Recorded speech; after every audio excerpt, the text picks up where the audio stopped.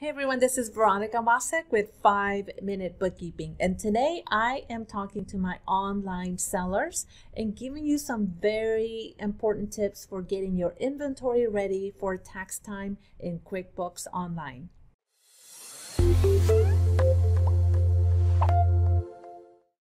Happy New Year! You're an online seller, it's tax time, and we've gone from the joy of the holidays now to the dread of dealing with the IRS. And one of the things that online sellers need at the end of the year is a balance for their inventory and, and even a detail of their inventory. Unfortunately, though, for most of the online sellers that I work with in my business, um, their inventory is a mess in QuickBooks. So let's take a look at what that looks like. Okay, so I'm in a sample company here and we're looking at the balance sheet for this online seller. And as you can see, we have a balance in inventory, we have another balance in inventory asset. There really should be only one balance and the amount is all wrong and that's because they have been trying every which way to track their inventory in QuickBooks and it's just not working out. The reason that happens is because uh, in many cases what I see with my clients is that they have connected either Amazon, Shopify, or other uh, online channels, Etsy, for example, and connecting those directly to QuickBooks and bringing in every single transaction and then bringing in those transactions into inventory. Now, I have said in previous videos it, that bringing in every single transaction into QuickBooks is not the best uh, plan um, for tracking transactions in QuickBooks. It's best to bring in summarized transactions. And then I also don't recommend tracking inventory in QuickBooks um, because the inventory functionality in QuickBooks is not very robust. So as a result, as I'm saying here, we're seeing inventory, inventory asset.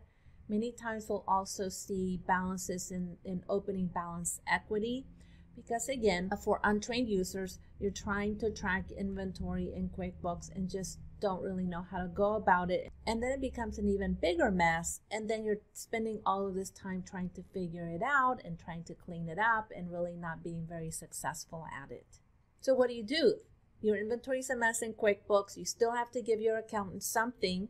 So, what I've put together is a spreadsheet that you can use. So, let's go ahead and take a look. Here's the inventory worksheet and you'll enter the date in which you took your inventory or you counted your inventory. Normally that is at the end of the year.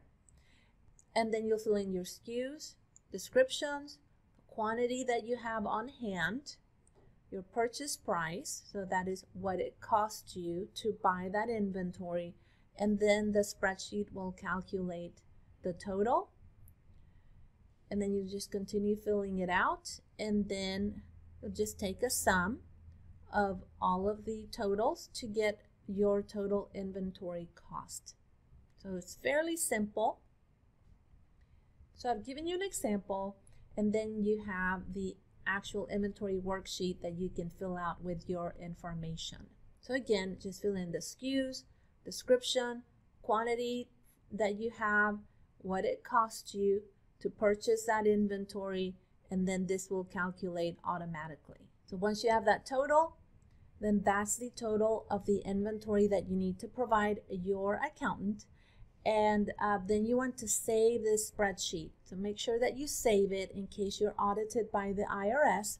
They would want to see this spreadsheet. Now you may still have um, some cleanup to do in QuickBooks Online in terms of cleaning up those inventory balances and uh, it does get quite tricky. I'll address that in future videos. But if you have any comments or questions, just go ahead and put that in the comments below. If you're an e-commerce seller and you need help cleaning up your QuickBooks Online, also check the description box to see how you might get a hold of me. I'm Veronica Wasek with 5 Minute Bookkeeping. If this content is helping you, make sure that you comment, like, share, and subscribe to this channel so you can get all of my latest videos.